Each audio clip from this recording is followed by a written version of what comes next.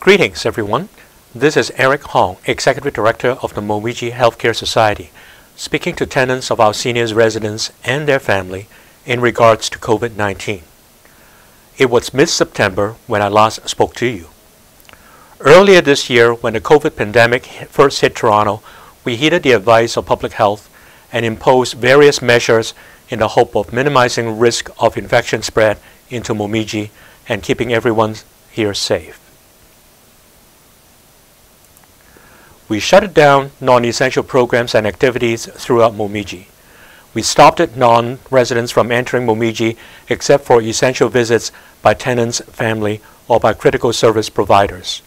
We advised tenants to self-isolate as much as possible. We screened all visitors to Momiji, adjusted staff deployment, mandated use of personal protective equipment, including face masks and other items, and imposed stringent infection prevention and control measures. When community spread of COVID-19 seemed to have eased over the summer, we supported for everyone to relax a bit and to emerge from isolation.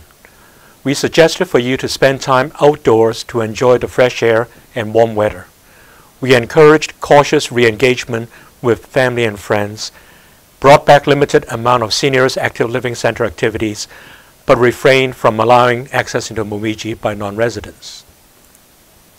Towards the end of July, we had arranged for tenants and staff to be tested on site for COVID. We were very encouraged by the result that everybody who got tested proved to be infection free. However, this past month has seen some unwelcome development. The number of new cases of COVID-19 in Toronto and Ontario has been found to be increasing at an alarming rate. While the average daily count of new COVID cases had dropped as low as under 10 in Toronto at one point in the summer, it has now rebounded up to almost 300 per day. It has been worrisome enough to have prompted provincial government to reimpose some stringent restrictions on social activities that it had only recently relaxed. Among other restrictions the government has once again imposed, they have shut down indoor dining at restaurants, limited the number of people allowed to gather in private parties, and stopped public events where larger number of participants would have been expected, among other measures. Momiji has prepared itself to respond to this wave two of the pandemic. Our goal continues to be to keep everyone safe while maintaining quality of life as much as possible.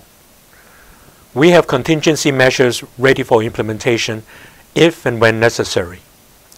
For now, Seniors Active Living Center programs with under 10 participants involved are still going to take place. Staff facilitated and monitored activities are still being supported. Meals continue to be delivered to tenants' apartments instead of having them come together in the restaurant. Virtual programs are being developed and offered as they become ready. Larger group activities, unfortunately, have had to be suspended for now. That included the Issei Day celebration, Japonica, and a clothing sale that had originally been planned for early October. In-person attendance at the annual general meeting of Momiji Healthcare Society has also had to be cancelled. It will now be conducted entirely online on October 27th. A notice will have been sent to all tenants in the seniors residence.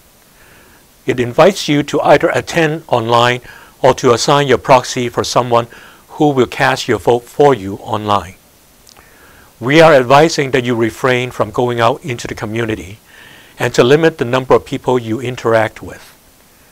We would also urge that family and friends of tenants not to visit in groups. Please limit visitors to your apartment at Momiji to two persons per visit. If you are planning to go out or stay out overnight while visiting with others, please speak to Yuka, Akane, or others in the support services department beforehand. They will advise you of precautions and safety measures, including what you might have to do upon returning to Momiji. Everybody anticipated there to be a wave two of the pandemic, and that it would arrive at the same time as the regular flu season, which is about now. That time and that wave two of COVID 19 infections is already here. Together and collaboratively, by being careful and complying with the various safety measures that have been put into place, we have weathered wave one of the pandemic very well. We made it through without anyone, client or staff, catching the COVID infection. Let us do that again together and stay safe and well through this wave two of the pandemic that is now upon us. It is by all of us conscientiously being mindful, complying with the various infection prevention and control measures, even if that means enduring some inconveniences, that we will succeed in protecting each other from the devastating disease that is COVID 19. Thank you.